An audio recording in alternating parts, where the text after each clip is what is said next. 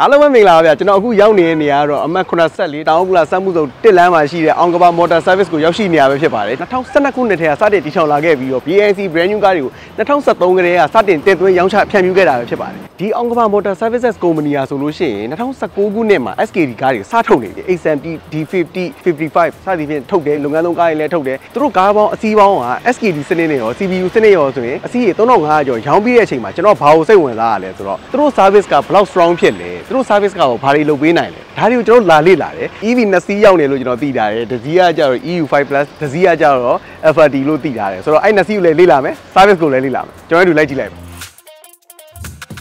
ANC က သဘောကျဖို့ကောင်းတာဒီမှာမနက်စောစီကျွန်တော်ရောက်တာ9နာရီစောစောမှရှိတယ်အခုဒီမှာစပြီးအကုန်လုံးဝန်ထမ်းတွေအကုန်လုံးအလုပ်လုပ်နေမနက်ကဆိုလည်းခုနရောက်ရောက်ချင်းမှာတော့တွေ့တယ်သူတို့ service team ကပေါ့သူတို့ brief တွေပေးနေတာဘယ်လိုလုပ်မယ်ဘာဖြစ်တယ်ညာဖြစ်တယ်ပေါ့နော်ဒီနေ့အလုပ်လုပ်ကြမယ်ဘာညာအဲ့ဒါတွေလုပ်နေအခုဆိုဒီဘက်မှာဆိုလည်း enjoy လဲတဲ့ကားလဲနေတယ်ဒီဘက်မှာအောက်ပိုင်းလုပ်တဲ့ကားလုပ်နေဒီမှာ850လိုက်တာစီကားလေးအဓိကပြောချင်တာကဒီမှာ Air Force FRD ပေါ့နော်ဒီ EV ကမြန်မာနိုင်ငံကိုရောက်နေတာကြာပြီမသိတာရယ်ကျွန်တော်ဒီဘက်ကိုလာပြီးတော့မလေးလာကြီးဖြစ်တာရယ်အခုဒီကားကဘာလုပ်နေပြီလဲဆိုတော့တို့ဒီနေ့ဘာလုပ်မှာဟိုယူဇာဝိုင်းလေးပါ သူက transmission white လဲမှာအဲ့ဒါပါကီလိုဘယ်လောက်မှလဲရတာလဲကီလိုတစ်တောင်းပြီပါ။အော်ကီလို1000ဆိုရင် register white လဲရဆိုလို့ရှိရင်ဒီကားကစီးတာကီလို1000ရှိသွားပြီ။ကီလို1000ဆိုတာတကယ်တော့နဲတာမဟုတ်ဘူး။အနည်းဆုံးတော့မရှိရင်တော့အဲ2လ3လအနည်းဆုံးတော်တော်စီးပြီးတဲ့ကားဖြစ်ရ။ ကျွန်တော်သိထားသလောက်ဆိုလို့ရှိရင်ဒီ BNC EV အတွက်ပေါ့နော်တီးတန့်ကိုအာ training တွေပါတရုတ်ပြည်မှာသွားပြီးတော့ယူထားရလို့သိထားတယ်မြန်မာနိုင်ငံက service team ကနေပြီးတော့တရုတ်ပြည်မှာသွားပြီးတော့ training ယူထားတာဖြစ်တဲ့အတွက်အခုဒီမှာလိုအပ်တဲ့ကိစ္စတွေအကုန်လုံးကိုဒီမြန်မာနိုင်ငံက service team ကနေပြီးတော့အကုန်လုံးလုပ်ပေးနိုင် BYN လဲတဲ့ဟာတွေလုပ်ငန်းစဉ်တွေပါတယ်အကုန်လုံးသူတို့ကိုယ်တိုင်လုပ်နိုင်ဘာမှစိတ်ပူကြမလို့ကြာ service နဲ့ပတ်သက်လို့စိတ်ချရတယ်ဆိုတာဒါမျိုးကိုကျွန်တော်ကဆိုလို့ချင်တာ။ Okay အဲ့တော့ showroom ဘက်ကိုသွားကြည့်အောင်။ အခုဒီမှာကျွန်တော်တို့ထပ်တွေ့ရတာတော့ BNC ကနေပြီးတော့တွင်းထားတယ်ဒီမှာ Air Force FRD ပေါ့နော်။ဒီ design ဆိုကျွန်တော်လုံးဝတစ်ခါမှမမြင်ဘူး။ရုပ်ကလုံးဝမိုက်တယ်။နောက်တစ်ချက်က logo ကတော်တော်လေးစားရတယ်။ Transformer logo လိုလိုဘာလိုလိုနဲ့ဒီလိုမျိုးလေးလာ။ဒါရဲ့ space လေးကျွန်တော်အရင်ကြည့်အောင်။ single motor ဖြစ်တယ်။ front wheel drive ဖြစ်တယ်။ဒီကတော့ battery capacity 63.6 ကီလိုဝက်အာဝါရှိတော်တော်ကြီးရပေါ့နော်ဒီဒီလောက် size ကားထဲမှာဆိုတော်တော်ကြီးရတဲ့မှာပါတယ်။ range အရပြောမယ်ဆိုလို့ရှိရင်653ကီလိုမီတာသွားလို့ရတယ်လို့သူရေးထားတယ်။ AC 7ကီလိုဝက်မှာဆိုလို့ရှိရင်0 to 100ကို15နိုင်လောက်သွင်းရမှာ။သွင်းရမှာပေါ့သူ battery size ကနည်းတာကြီးမှာပေါ့နော် DC မှာတော့ fast charging ရတယ်30 to 80%ကိုမိနစ်40ဝန်းကျင်သွားလို့ရတယ်လို့သူရေးထားတယ်။ကျွန်တော်ခုနကမရိုက်ခင်ပေါ့ခဏလေးဖတ်ကြည့်လိုက်တာတော်တော်စိတ်ဝင်စားစရာအချက်တွေ၄၅ချက်ကျွန်တော်တွေ့တယ်။အဲ့ဒါဘာလဲဆိုတော့ ambient light ကို64မျိုး64ရောင်ပေါ့နော်။ပြောင်းလို့ရတယ်။ leather ဆိုလို့ရှိရင် Napa Napa leather သုံးလိုက်လို့သိရတယ်။လုံးဝ luxury brand 8ဒီဘာတွေမှာသုံးတဲ့ leather ကိုထိုင်ကုန်မှာသုံးလိုက်လို့ကျွန်တော်အနေနဲ့သိထားတယ် hidden electric air outlet ဘယ်လိုလဲတော့ကျွန်တော်မသိရသေးဘူးအထဲအထိတော့သွားမကြည့်ရသေးဘူး air outlet တွေက hidden လို့တော့သူရေးထားတယ်အဲ့ဒါလေးကျွန်တော်သွားကြည့်မယ်သူကဒီမှာ20 inch တဲ့20.3လက်မ 4K HD central control uh, entertainment screen အဲ့တခုလည်းကျွန်တော်လေ့လာမယ်နောက်တစ်ချက်ကပြီးလို့ရှိရင်ဒီ EV တော်တော်များများမှာကျွန်တော်အခုမတွေ့ရသေးတာဘာလဲဆို HUD display ပေါ့နော်ဒီ screen မှာပေါ်လာမဲ့ display အဲ့တခုကျွန်တော်မတွေ့ရသေးဘူးသူက Harman ကိုမှ Infinity ဖြစ်တယ် speaker 12လုံးပါတယ်နော်အဲ့တော့ကျတော့ကျွန်တော်အတွင်းကန်းနေကြရင်ကျွန်တော်ကြည့်မယ်အခုလောလောဆယ်ကျွန်တော်ဒီအပြင်ရုပ်လေးတစ်ချက်ကြည့်အောင်ဒီအရှိမ sensor 3ခု3ခုဆိုတော့ sensor 6ခုပါတယ်ဒီအရှိမကင်မရာလုံးတွေ့တာဖြစ်တဲ့အတွက်တေချာသလောက်ရှိတာ360ကင်မရာလည်းပါမှာပဲဆိုတော့ကျွန်တော်ဘေးတွေသွားကြည့်အောင်ဒီလုံးဆိုင်လေးလည်းမိုက်တယ်နော် ဒီမှာဒီနှလုံးရယ်ဒီဘက်မှာဒေးလိုက်ရယ်နော်အဲ့လေးမိုက်တယ်ပြီးလို့ရှိရင်ဟောဘေးနားရောက်တာနဲ့အော်တိုပွင့်သွားတာပဲကျွန်တော်ကားတော့ဘောင်းမီတွေထည့်တာမေ့ကားတော့ဒီဇိုင်းရှိုးလိုက်လက်ကင်လေးအထဲမှာရောက်တာနော်ပြီးတော့မှထွက်လာညံ့မလားတော့မသိဘူးအောက်မှာ projector နဲ့တခါတည်းသူ့ logo လေးကိုပြတာတကားပိတ်တဲ့အတန်လေးလည်းမိုက်တယ်ပြီးရင်လေသာလေးတော်တော်မိုက်တယ်တော်တော်တတ်တတ်ရရရှိတယ်နောက်ထပ်တစ်ချက်ကျွန်တော်ပြောပြောနေကြရှိတယ် safety လေး safety လေးအဲ့ဒါလေးအရန်သဘောကျ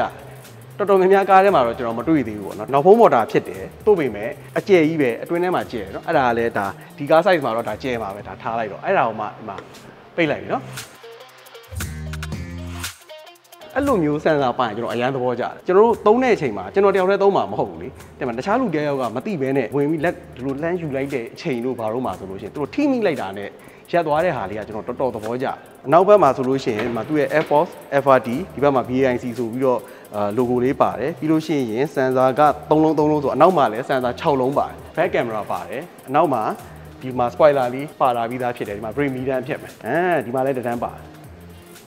နော်ရှေ့ဒီဇိုင်းရောနောက်ဒီဇိုင်းရောမှာဘာအပေါက်မှမပါတော့ဒီနေရာတွေအကုန်လုံးဒီမှာအပိတ်တွေပဲရုပ်တရက်ဘယ်ချိန်ကြီးကြီးရှေ့ရပဲကြီးကြီးနောက်ကပဲကြီးဒီကားတစ်စီးပြီး EV ဆိုတာကို ဘယ်နေရာကနေကြီးကြီးသိတာလဲဟာအအတွင်းကန်းထဲဝင်လိုက်တာတော့စားရတော့စီမန်မိုရီပါတယ်နော်ထိုင်ကွန်းရွေ့သွားတယ် CRM ကလည်းပေါ်တက်သွားတယ် okay အဲ့တော့ဒီမှာနည်းနည်းပြောစရာရှိတယ် Air Force ဆိုတဲ့ brand က BIC Blue Park ဆိုတဲ့ set brand ရှိအဲ့ဒါဘာလဲဆိုတော့ BIC အောက်မှာမှာဆိုတော့ EV ပဲတီးတန့်ထုတ်မယ်ဆိုပြီး2019နဲ့ကနေပြီးတော့ခွဲထုတ်ပေးလိုက်တဲ့ set brand ပေါ့ BIC Blue Park လို့ခေါ်တယ်အဲ့ဒါအောင်မှာတော့ Magna company နဲ့ပူးပေါင်းလိုက်တာ Magna company အကြောင်းတနည်းနည်းလေးထပ်ပြောရမယ်ဆိုလို့ရှိရင်သူကအာ Mercedes ဆို BMW တို့ရဲ့ parts တွေထုတ်ပေးတဲ့ company လို့လည်းသိရတယ်နောက်ပြီးသူကိုယ်တိုင်လည်းကားတွေထုတ်လုပ်တတ်စင်တယ်အဲ့ Magna ရယ်ကျွန်တော် BIC ရဲ့ Blue Park ရယ်ပူးပေါင်းပြီးတော့ဒီ Air Force ကိုဖန်တီးလိုက်တယ်ဆိုတော့ဒီကားရဲ့အတွင်းပိုင်းနေ ကားရဲ့ performance အပိုင်းနေလုံးဝစိတ်ပူစရာမလိုဘူးလို့ကျွန်တော်အနေနဲ့အကြမ်းမြင့်ယူဆလို့ရတယ်ဆိုတော့ကျွန်တော်ဒီအတွင်းကန်းနေကြည့်အောင်ကားရဲ့ဝင်လိုက်တာနဲ့လုံးဝ luxury ဆန့်တယ်ဗျာဒီထိုင်ကုန်လဲသားတွေပါသုံးလာတာတော်တော်လေးကိုမိုက်တယ်ပုံမှန်ဆိုရင်ပေါအောင်နဲ့ကလုတ်ကဒီနားမှာအခုသူကဒီလိုဖြစ်သွားတယ်ပြောရတဲ့အတိုင်းပဲဒီမှာ aircon ၄ပေါက်တွေကလုံးဝအပြောက်တယ်လက်နဲ့လည်းကင်လို့လည်းမရအောင်နှိုက်လို့လည်းမရအောင်ဘာမှလုပ်လို့မရအောင် aircon ၄ပေါက်ကိုပုံမှန်ဆိုလို့ရှိရင်လက်နဲ့ရွှေ့ရမလားသူကဒီမှာ digital ပေါ်မှာရွှေ့ရမှာဘယ်လိုသွားကြလဲလေကိုအပေါ်ရောက်ချင်လားအောက်ရောက်ချင်လား တစ်ဖက်ကိုအပေါ်ရောက်ပြီးတော့တစ်ဖက်ကိုအောက်ရောက်ချင်လားအကုန်လုံးဒီ digital ထဲမှာပဲသွား air con temperature ကိုဟိုဘက်ဒီဘက်ကိုခွဲပြီးတော့သုံးလို့ရတယ် sense လုပ်ချင်လည်းရတယ်အနောက်ကိုတီးသန့်ဖွင့်မယ်ပိတ်မယ်လည်းကျွန်တော်တို့အကုန်လုံးဒီများနေကစားလို့ရတယ် air con fan seat လည်းအကုန်လုံးဒီ digital ပေါ်မှာခလုတ်ဆိုလို့1 2 3 4 5 6ဒီနားမှာ6ခုပဲပါတယ်ခလုတ်ကအဲခလုတ်6ခုမှအပါကျန်တာအကုန်လုံးက touch တွေကြီးပဲအလဲက 4K display ဆိုတာဒီနေရာမှာပြီးရင်ဒီနေရာမှာ wireless charging လေးပါတယ်အကုန်လုံးကဒီမှာမော်တာတွေနဲ့နော် ရှေ့တိုးမလားနောက်ဆုတ်မလားပြီးရင်ဒီမှာအရှိမ HUD display ပါတယ်အဲ့ဒါလေးကပြကျွန်တော်တို့ဒီ Lexus ဆိုပါတော့မှာပဲပါတာပေါ့နော်အခုလောဆယ်ကျွန်တော်ရှိတဲ့ထဲမှာကားမောင်းရင်းနဲ့ဆိုကိုယ့်ရဲ့အာကီလိုမီတာဘယ်လောက်ရှိတယ်ဆိုတာကိုအောက်ကိုငုံကြည့်စရာမလိုဒီအပေါ်မှာနေကြည့်လို့ရတယ် အဲ့တော့ကြတော့ချစ်သုံးမောင်မောင်လို့မဖြစ်တော့ဘူးပေါ့နော်အနည်းဆုံးတော့အနည်းဆုံးတော့ဟိုကိုကိုယ့်ရဲ့မောင်းနေတဲ့မိုင်နှုံးကိုတိတိကျကျမြင်ရတာ Okay အဲ့တော့ဒီ infotainment screen တွေအကုန်လုံးမှာဘာကြီးပြောစရာရှိလဲဆိုတော့ Apple CarPlay ရတယ်ကျွန်တော်တချင်းတော့ဖွင့်မပြတော့ဖွင့်ပြလို့ရှိရင်တော့ဇူဇူနဲ့ကိုနဲ့အဲ့မှာနော်နောင်ချိန်တွေပလေးနေရ ambience light ကိုကြိုက်တဲ့ things ကိုချိန်ပြီးတော့ဒီမှာအတိုးလျှော်လည်းကစားလို့ရတယ်အယောင်လည်းကြိုက်တဲ့လောက်ပြောင်းလို့ရတယ်မချိန်နဲ့အော်တိုထားလဲရဒီနားကိုကြည့်ဒီနားကိုကြည့်ဒီမှာ ambience light ဒီမှာလည်းပါတယ် မိုက်အဲ့မှာအယောင်ကြီးပြောင်းနေနော်အဲ့တော့အယောင်ကတော်တော်ကိုချင်းလို့ရတယ်အဲဒီမှာဒီမှာကိုဖြိုးရောင်လေကိုဖြိုးရောင်ဒီကားတစ်စီးလုံးကလေပြောမယ်ဆိုပြောစရာကြီးအများကြီးကြံနေတယ်ပြီးလို့ရှိရင် sunroof ဖွင့်တာတွေဘာတွေကလည်းအကုန်လုံးဒီထဲမှာပဲအဲမှာစမ်းရှိတ်ဖွင့်ဟိုက်ကြည်ပြီးဒီကားမှာထပ်ပြီးတော့ကြိုက်တာရှိတယ်သူများကြီးတော့ကြိုက်မကြိုက်တော့မသိကျွန်တော်တို့အရန်ကြိုက်တယ်ထိုင်ကုန်အပူအေးစနစ်ပါတယ် သူကအပူရောအေးရောပါနော်အပူကြီးပဲပါတာမဟုတ်အဲ့တော့ဘယ်လိုလဲဆိုတော့ကျွန်တော်ကဗျာခရီးသွားတာများတယ်ကျွန်တော်ဒုက္ခကျွန်တော်သိတယ်ကားမောင်းတာကြာလို့ရှိရင်ဘာဖြစ်လဲဆိုတော့ကြောတွေဖင်နေပူလာအောင်အဲ့တော့ဒီထိုင်ကုန်အေးပါတဲ့ဟာလေးကကျွန်တော်အတွက်ဆိုရင်တော်တော်လေးအဆင်ပြေတယ်စပီကာလည်း12လုံး Apple CarPlay နဲ့မှာ Harman ရဲ့မှာ Infinity version နဲ့ဆိုတော့ကြာဘာမှပြောစရာမလို Drive mode က၄ခုပြောင်းလို့ရတယ်သူက Driving mode ချိန်တာဒီအလဲရခလုတ်လေးနဲ့ အာ comfort ကိုချိန်သွားတဲ့အချိန်မှာ digital cluster မှာလုံးဝ design လေးချိန်သွား UI လေးပြောင်းသွားတာပေါ့နော်။နောက်တစ်ချက်ထပ်နေရင် eco ဆိုပြီးချိန်သွားတယ် eco ကနေပြီးတော့နောက်တစ်ချက်ထပ်နေရင်ဟွန်းတော့ sport ဆိုရင် design လုံးဝထပ်ချိန်သွားအဲနောက်တစ်ချက်ကတော့ one pedal mode တော့ one pedal mode ကတော့ဒီ setting တွေကနေပဲသွားပြီးတော့ပြောင်းရမှာ one pedal နဲ့သူမောင်းလို့ရတယ်နော် safety ဘိုင်းအရဆိုရင် airbag က6လုံးပါတယ် airbag 6လုံးပါတယ်ပြီးလို့ရှိရင်ကျွန်တော်အခုမှထပ်ပြီးသတိထားမိတာမကြည့်ဒီမှာသူ့ logo လေးတွေထည့်ပြီးတာအဲ့ဒါလေးကတော်တော်လေးစားရတယ်နော်ဒီမှာနေမဟုတ်အနောက်ထိုင်ကုန်နေမှာပါအဲ့ဒီထိုင်ကုန်ခေါင်းနေရာပေါ့နော်အဲ့နေရာတွေအကုန်လုံးမှာ logo လေးတွေထည့်ပြီးတာ jewel aircon လည်းပါတယ်နောက်မှာ aircon control တတ်တတ်လုပ်လို့ရတယ်ပြီးလို့ရှိရင်အတွင်းကန်းတော်တော်ကျယ်သေးတယ်အဲ့တော့ကျွန်တော် full review video တွေကြားလို့ရှိရင်ထပ်ပြီးတော့ကျွန်တော်ဖော်ပြပေးသွားမယ်ဘာလို့တော့ဟိုဘက်ကားလေးရှိသေးထပ်သွားပြအောင်ဟွာနော်ခြာဂျာဟိုကတော့ခြာဂျာပဲဒါပေမဲ့ ခြာဂျာထဲမှာမှာသူကနည်းနည်းလေးထူးခြားတယ်ဒီဇိုင်းပိုင်းစုတွေလည်းရတာပုံစံကြည့်လိုက်ခြာဂျာတော့ဒါ level 2ခြာဂျာပေါ့နော်ဒါခံမှန်းကြည့်လိုက်တာဒီပိုင်းသိတယ်ဒါပေမဲ့မသိနိုင်တာကဘာလဲဆိုတော့ဒီလိုဖွင့်လို့ရတယ်သူကအားသွင်းမယ်ဆိုရင် breaker တင်ရမယ်ဒီ cloud ကိုနှိပ်ရမယ်ပေါ့နော်ဒီကောင်ကိုဒီမှာဒီလိုလေးချလိုက်မယ်ပြီးရင်ထုတ်လို့ရတယ်ဒါဆို level 1ဖြစ်သွားပြီဒီပေါ်မှာ socket လေးနဲ့ဒီမှာ LG လေးနဲ့ထောက်လိုက်လို့ရှိရင်ကြိုက်တဲ့နေရာကိုယူသွားအားသွင်းဒါ level 1 charger ဖြစ်တယ် ပြန်ထည့်ပြီးတော့ဒါဆို lock ဖြစ်သွားပြီဒါဆိုရင် level 2ဖြစ်သွားပြီဒီဟာနဲ့ဆိုရင် level 1အာ2.5သို့မဟုတ်3 kW လောက်နဲ့အားသွင်းလို့ရတယ်ဒီဆက်တဲထည့်သွားပြီဆိုတာနဲ့ဒါ3 kW ဖြစ်သွားပြီသို့ပေမဲ့ဒီဆက်တဲထည့်လိုက်တယ်ဆိုပေမဲ့သူကစင်ဆာထည့်ပေးတာပေါ့နော်ဒီခလုတ်မှာစင်ဆာထည့်ပေးတာဒီခလုတ်ပိတ်လိုက်တော့မှ7 kW ထွက်မှာဒီတကားကဒီတိုင်းဖွင့်ထားပြီးတော့ဒီလိုအားသွားသွင်းရင်လည်းရတယ်မရဘူးတော့မအဲ့ကြရင်တော့2.5 3ဒီလောက်ပဲထွက်အဲ့တော့အားသွင်းကျင်တယ်ဆိုရင်ဒီလိုလေးလောက်ချလိုက်ပေါ့ပိတ်လိုက်သွားပြီးအားသွင်းအဲ့ဒါ7 kW ရ နော်အဲအကြောင့်မလို့သူကဒီဇိုင်းဘိုင်းမှာစုကြတာတယ်လို့သူကပြောတာ Air Force မှာဘာထူးခြားချက်တစ်ခုပါလဲဆိုတော့ V2L တွေမကောက်တော့ V2V ပါပါတယ် V2V ဆိုတာဘာလဲဆိုတော့ကျွန်တော်လည်းတစ်ခါမှမတွေ့ဘူးကားကနေပြီးတော့ကားကိုအားပြန်သွင်းတာဒီဆက်ကနေပြီးတော့ဟိုဘက်ကိုအားသွင်းပေးပါတစ်ချက်ဘက်တန်ကို online လို့ရှိရင်ဒီမှာမီးအစိမ့်လေးလင်းတယ်မိတ်တုံမိတ်တုံလင်းတယ်အဲ့ကနေပြီးတော့ဘယ်ကိုသွားလဲဆိုတော့ဒီဘက်မှာအားပြန်လာသွင်းတယ်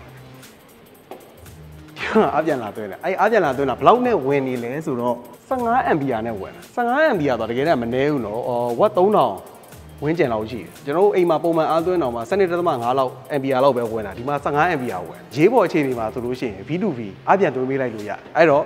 EU5 Plus အကြောင်းဆက်ပြောထို့ကြတော့လေအဲ SUV ဘလောက်ကောင်းတယ်ပဲပြောပြော10တန်မှ10တန်ကြိုက်တဲ့အဖွဲ့ကတီးတန့်ရှိတယ်အဲအကြောင်းမလို့ဒီကားလေးကလည်းရွေးချယ်စရာနောက်တစ်ခုဖြစ်လိမ့်မယ်ဘယ်နားပဲကြီးကြီးဒီကားကလည်း EV ဆိုတော့တိတာစီရဲ့ look ကိုလုံးဝပေါက်တယ်ဒီမှာရှေ့မှာလေးပေါက်တွေပါဘာမှမရှိတော့ဘူးဒီမှာကြည့်လိုက်တာနဲ့ဆက်စချင်းဒီမှာမြင်ရတာကင်မရာပဲထို့ကြောင့်ဒီကားဒီတေချာပေါက်360 power ပါလိမ့်မယ်မီးလုံးတွေပါတော့အားရစရာကြီးနည်းတော့မီးလုံးတွေမဟုတ်ဘူးဟုတ် မော်တာ type ကတော့ single motor ဖြစ်တယ် two wheel drive ဖြစ်တယ်ပေါ့နော်အာ single motor motor တစ်လုံးပဲ two wheel drive ဖြစ်တယ်အာရှေ့ motor ပဲဖြစ်လိမ့်မယ် battery capacity ကြည့်အောင်ဆိုလို့ရှိရင်49.6 50နီးပါးပါတယ်မစိုးဘူးလေခီးသွားမယ်ဆိုလည်းရတယ်ရုံရင်းသုံးမယ်ဆိုလည်းကောင်းအောင်သုံးလို့ရတဲ့အနေအထားရှိတယ်7 kW နဲ့သွင်းရင်0 to 100ကို8နာရီပဲသွင်းအောင် အဲကျွန်တော်အတွေ့အကြုံရက9နာရီနဲ့10နာရီကြားပေါ့ဗျာအဲ့ဝင်းကျင်ဆိုလို့ရှိရင်အားပြည့်မယ်လို့ကျွန်တော်အနေနဲ့ယူဆရတယ် DC fast charge မှာဆိုလို့ရှိရင်30ကနေ80ကိုနိုင်ဝက်တွင်းပြည့်မယ်ပေါ့ပြီးရင် model မြစ်ကားတစ်စီးမှာပါရမယ့် space တွေအကုန်ပါတယ် auto brake တွေပါတယ်အာ safety အရဆိုရင် airbag တွေ6လုံးပါတယ် travel power supply ပါတယ်ဆနလက်မ infotainment screen ပါတယ်ကားလေးတစ်ပတ်လောက်လိုက်ကြည့်အောင်နော်ဒီဘက်မှာဘာတွေ့လဲဆိုတော့အားသွင်းတဲ့အပေါက်တွေ့တယ် GBD ကိုဒါ DC အပေါက်နော် DC ဆိုရင်အရှိမှာသူက သူကအရှိမှာနှစ်ပေါက်မဟုတ်သူကအရှိတစ်ပေါက်နောက်တစ်ပေါက်ဒီကောင်က AC ကိုဖွင့်မယ်ဆိုရင်တော့သူကအထက်ကနေခလုတ်လေးတစ်ချက်နှိပ်ရတယ် AC ပေါက်ပွင့်သွားတယ် AC က level 1တို့ level 2တို့7 kW တို့အာ3 kW တို့ကဓာတ်နေသွင်းရပြီးတော့သူကစလုံးတိုက်ထဲမှာလေ ground clearance တော်တော်မြင့်နေတဲ့မှာပါတယ်သတိထားကြည့်လိုက်တာတော်တောင်ကတော့ဘာမှလက်ကြည့်ကြမလို့ပဲသွားလို့ရတဲ့အနေအထားမှာရှိတယ်အာဘိန်းကလည်း18ထင်တယ်နော်18 site 3လာတော့မစိုးဘူးလေဒါတော်တော်လွတ်လွတ်ကင်းကင်းသွားလို့ရတဲ့အနေအထားရှိတယ်โอเคလားအနောက်ကြည့်အောင်အ နောက်ကမီးတန်းလေးပါတာပဲဒီမှာ LED မီးတန်းလေးဟုတ်ရနော်အထဲထဲမှာပြုတ်ထားတာလေအဝေးကကြည့်ရင်တော်တော်မိုက်မဲ့ဒီဇိုင်းမှာရှိတယ်ပုံစံကြည့်ရတယ်ဒီနောက်မှာ EU5 Plus ဆိုတဲ့တစ်စိတ်လေးပါတယ်ဘေဂျင်းဆိုတာလေးပါတယ် BNC လေးပါတယ်ပြီးရင်နောက်မှာစင်ဆာလေးလုံးတွေ့တယ်အဲ့တော့နောက်ဖုန်းလေးဖွင့်ကြည့်အောင်ပြည့်ကြီးပဲအထဲထဲမှာ ကျွန်တော်စိတ်နေကတော့ဒီ Golfit 8လောက်ကတော့တအိတ်မကအောင်ကျွန်တော်စိတ်တအိတ်ရယ်တခြားပစ္စည်းတွေရယ်တော်တော်များများထည့်လို့ရတယ်ကျွန်တော်မေးတယ်တင်ပါတယ်အဲ Golf 8ဆန်လားပဲမေးကြသေးတာတခြား8ဆန်လားမမေးဘူးအဲတော့ကျွန်တော်တခုခုဆို Golf 8နဲ့ပဲကျွန်တော်ရှင်းရှင်းပြီးပြောရတယ်ပြီးတော့ဒီမှာသူ့ကားတော်ဒီဇိုင်းလေးလည်းမဆိုးဘူး Okay ကားတွေကိုဝင်ကြည့်တဲ့တခါလာမှမိုက်နော်ဒါလေးလဲတာလေး helpless ရဲ့မှတ်တယ်ဟွန်းဒီအောက်ကတော့ helpless ဖြောက်ပါဒီဘောကတော့လဲတာလေး CRI မှာလေဒီမှာတော့နှိပ်လို့ရတဲ့အနေအထားရှိတယ်။ဘာခလုံးမှပေါ်မနေဘူး။ကဲလား။ဘာပေါ်မလဲ။ပေါ် on off button ကဒီနေရာမှာနှိပ်လိုက်။အော်နှိပ်လိုက်တော့မှခလုံးလေးတွေမှာအကုန်လုံးမီးလင်းလာ။ volume အတိုးလျှော့တို့နော်။ဒီမှာဓာတ်ပုံရိုက်မယ်တို့ဒီမှာမှုချိန်တာတို့အပေါ်အောက်သွားတာတို့အကုန်လုံးက CRI control ထဲမှာပါပြီးသား။မစိုးဘူး။ aircon button လေးကဒီမှာ ဒီဘက်ကတော့ fan speed ဒီဘက်ကတော့ temperature ပေါ့နော် temperature ချိန်လို့ရတယ်ကျွန်တော် gear တန်းကိုဒီလိုပုံစံဆိုအရန်သဘောကျတာဘာကြောင့်မှမသိဘူးသူကမသိလို့ရှိရင်တက်မှာ spaceship ဘောင်းသလိုလိုသိလားမသိရင်လင်းမြန်းမှာလေလင်းမြန်းမှာဆိုတက်မှာ lever တင်သလိုလိုဘာလို့အဲ့လိုခလို့မျိုးအဲ့လိုမျိုး gear တန်းဆိုကျွန်တော်အရန်သဘောကျ K assist တွေပါတယ်ပြဖုန်းခေါ် auto hold ပြီးရင် driving mode က၄ခုချိန်လို့ရတယ် comfort ရယ် eco ရယ် one pedal ရယ် sport ရယ်ဆိုပြီးတော့သူက၄ခုချိန်လို့ရတယ်သူကနောက်နောက်ကျ sport ဆိုတော့မှနော်ထိုင်ကုန်နေထိုင်ကုန်ဒီဇိုင်းတွေကသွားရှိုးလိုက်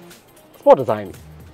နော်အတွဲဆက်အယောင်အတွဲဆက်ကလည်းကျွန်တော်ဒီအယောင်ဆိုသဘောကျတယ်ကျွန်တော်အဲအဖြူဆိုအဖြူသီးဆိုင်ကြီးကိုတိတ်သဘောမကျဘူးလေဗျအဖြူနဲ့အမဲနဲ့ဒီလိုမျိုးလေးဆိုမိုက်ဟို sport ထိုင်ကုန် design ပေါ့နော်အဲ့လိုမျိုးခွက်ခွက်လေးရှိတယ် sunroof sunroof ပါတယ် sunroof ဖွင့်ပြီးမောင်းလို့ရတယ်ဒီကောင်ကကြတော့ airbag 6လုံးပါတယ်ပြီးရင်ဒီမှာ cruise control အတွက်အာဒီမှာတန်လေးတစ်ခုတီးတန့်ပါတယ်ဒီကောင်ဒီမှာ seat motor ဖြစ်တယ်ဟုတ်နော် seat motor ကိုအပေါ်အလဲအောက်အကုန်ရွှေ့လို့ရတယ်ဒီကအနောက်ခန်းလဲတော်တော်ထိုင်ကောင်ကတော်တော်လေး ကျဲတယ်ဗျာအနောက်မှာထိုင်တဲ့လူလည်းတတောင့်တတာရှိမဲ့အနေအထားမှာရှိတယ်နောက်တစ်ချက်ကအနောက်အတွက်လည်း aircon ပါတယ် round aircon ဖြစ်တယ်ပေါ့နော် control တော့မပါဘူးသို့ပေမဲ့နောက်ထိုင်ကုန်ကလူတွေစီးဖို့အတွက်ဆိုရင်အနောက်မှာ aircon သီးသန့်ပါနောက်တော့မှပဲကျွန်တော်ဒီကားတွေကို test ride တွေလည်းလာမယ် review တွေလည်းလာမယ်အဲ့ကြရင်တော့ဒီထက်ပိုပြီးပြည့်ပြည့်စုံစုံပြောရမဟုတ်လို့ရှိရင်ကျွန်တော်ဗီဒီယိုကြီးကအရင်ရှည်သွားတယ်လေကြည့်ရလို့အရင်ပြင်းသွားမှာဆိုလို့ခြားချင်းစိတ်ချင်းအကြောင်းကြောင့်ထပ်ပြောပြအောင် BIC ရဲ့ EV user တွေအတွက်သတင်းကောင်းလေးရှိတယ်အဲ့ဒါဘာလဲဆိုတော့အခုအမှတ်84တောင်းကလာစက်မှုဆောင်1လမ်းမှာရှိတဲ့ BIC showroom ရှေ့မှာဆိုလို့ရှိရင်ဒါမှာ fast charge DC charger ကြီးချပေးရတယ်အဲ့ဒါကို BNC user တွေအတွက်ဆိုတစ်နှစ် FOC ပေးတာဒီတနေရာတည်းမဟုတ်ဘူးမြန်မာကချာဗယ်လီမှာလည်းမ F4 ကနေပြီးအခုစောင့်နေပြီမကြခင်ပြီးတော့မယ်လို့သိရတယ်အဲ့မှာလည်း FOC သွင်းလို့ရမယ်ပြီးလို့ရှိရင်လှဲကူးမှာလည်း FOC သွင်းလို့ရမယ်အမှတ်နှစ်လမ်းမကြီးဖေး လဲကူးမှာဆိုလို့ရှိရင်တို့လည်းအခုလည်းအဲ့မှာလည်းစောင့်နေပြီပြီးကန်နေပြီပြီးရင်မန္တလေးမှာလည်းသွင်းလို့ရမယ်နေပြည်တော်မှာလည်းသွင်းလို့ရမယ်နေရာတွေတော်တော်များများတော့စီစဉ်ထားပြီးနေပြီနောက်ပြီးတော့ဒီတနေရာတည်းမဟုတ်ဘူးအထဲမှာလည်းလုပ်ပေးထားသေးတယ် level 1တွေရော level 2တွေရောနောက်ထပ်၄ခုလောက်လုပ်ပေးထားတာရှိတယ်ဆိုတော့တော်တော်လေးသဘောကျဖို့ကောင်းတယ်ဗျာအကယ်၍များဒီမှာနှစ်စီးပေါ့နော်နှစ်စီးအားသွင်းတာပြည့်နေတယ်ဆိုလို့ရှိရင်အထဲမှာနောက်ထပ်၄စီးလောက်သွင်းလို့ရတယ်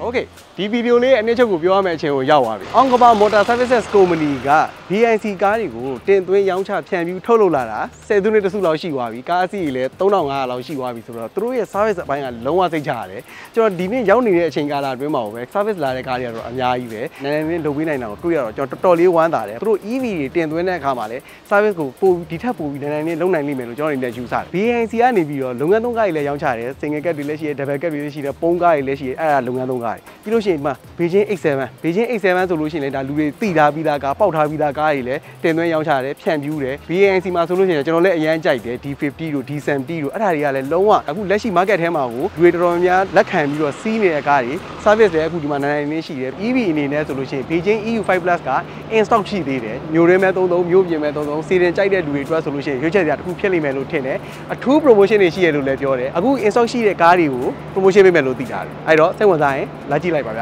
ရန်ကုန်မန္တလေးနေပြီးတော့တောင်ကြီးစားတဲ့မြို့ကြီးတွေမှာလည်းဒီလာတွေရှိတယ်ဒီလာတွေဒီမှာလည်း ICE ကားတွေကိုဆက်ဆက်စုံစမ်းမေးမြန်းပြီးတော့ဝယ်ယူလို့ရတယ်တခုပြောစရာရှိတာရန်ကုန်လိုင်စင်ရတယ်အားသာချက်ရှိတာပေါ့နော်အခုလေအောင်ကမ Motor Services ကနေပြီးတော့ EV တွေတင်သွင်းလာပြန်ပြီ FLD တို့နော် Beijing EU5 Plus တို့စတာတွေတင်သွင်းလာတဲ့အချိန်မှာလည်းမြန်မာနိုင်ငံကကုမ္ပဏီကိုလည်းစိတ်ချတယ် service ကိုလည်းစိတ်ချတယ်ဒီလို brand မျိုးကိုရွေးချယ်ဝယ်ယူမယ်ဆိုလို့ရှိရင်တော့ဒီမှာလာပြီးတော့ဆက်ဆက်စုံစမ်းမေးမြန်းလို့ရပါတယ်ကျွန်တော်ကတော့စီးပြောအောင်